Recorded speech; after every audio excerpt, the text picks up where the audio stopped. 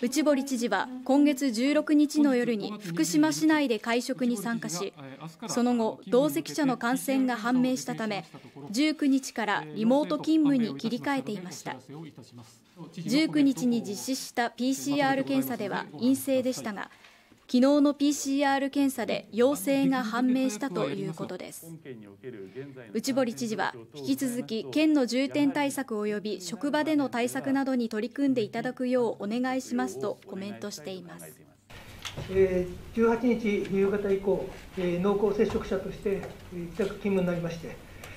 ご心配ご迷惑をおかけをいたしました。お詫びを申し上げる次第です。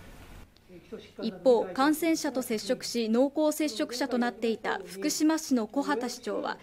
今日から職場に復帰しました。